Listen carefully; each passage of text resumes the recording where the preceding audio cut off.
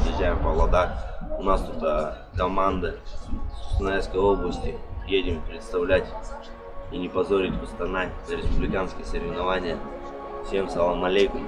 Ярим, да, такой. Едем покорять военному. Желайте нам удачи, будем стараться.